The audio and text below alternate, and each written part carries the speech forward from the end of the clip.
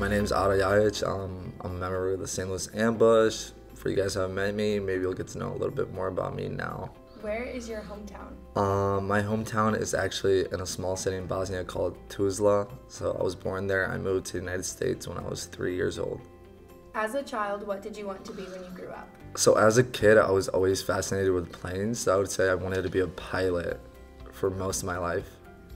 How did you get into playing soccer? Um, I think it was just something from my parents to get me out of the house. I don't think it started as anything serious. At what age did you begin to play soccer? I think I was like six, so it was we just moved here. Literally just started playing in the park with my friends and we started a team together and we were together until I was like 15, so that was pretty cool. What are some of your hobbies off of the field? Mostly like to relax and hang out with my friends, chill, not talk about soccer off the field. Where do you like to hang out? Usually I like to hang out just by going downtown with my friends, picking a nice spot and sitting down. What do you like to do to relax? To relax, I usually like to get some good food. My go-to probably is Taste of Bosnia, which is located in South County, St. Louis. What is your favorite pregame meal or snack? It's gotta be some type of pasta. Preferably pasta with a white sauce. What is your ultimate hype song?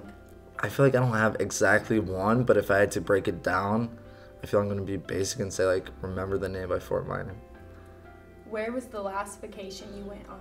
Last vacation I went on, I went to Mexico about two weeks ago. So I was in Cancun.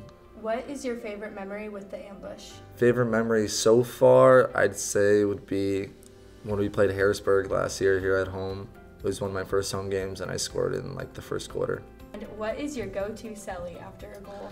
It just depends what the emotions are. I feel like it's kind of hard to control your emotions, especially after scoring a goal. But I'm usually probably hitting the boards or standing on something.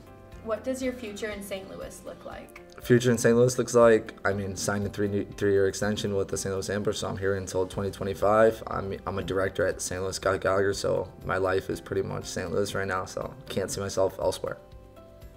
What is your favorite thing about playing soccer in St. Louis? I would say my favorite thing has to be that I'm a local kid from here, so I got to experience these games as a kid growing up. Now being on the field and seeing the kids come up to you, I'd say that's probably the coolest part. Looking back on last season, what do you feel was your greatest accomplishment as an individual and as a team? I mean, I first want to hit on the team aspect. I feel like uh, we played a lot better as a team moving throughout the year. I think we got better as the games went on individually. I mean, I was content with my season, but I'm looking forward to a new season, uh, new coaching staff to see what energy they can bring to the team. You just signed an extension with the Ambush. What goals do you have in place for this upcoming season? This upcoming season, um, I like to look short term, so I want to be better than we were last year. Kind of just start off there, but in my three years, I'll hopefully bring a championship here to St. Louis. What has helped you get to where you are today as a professional athlete? I would definitely say my parents, their drive and willingness to put in the work even when they were brand new to this country and kind of have a kid chase his dreams would just be it, parents. So biggest thing is Ambush Nation. Uh, if you guys haven't had the chance, check us out, support the team. I think we'll only get better as the more people follow us, the more the sport grows. I would say we have a very unique thing here in our city, so if you get a chance, please come on and support us. We'd love to see you there.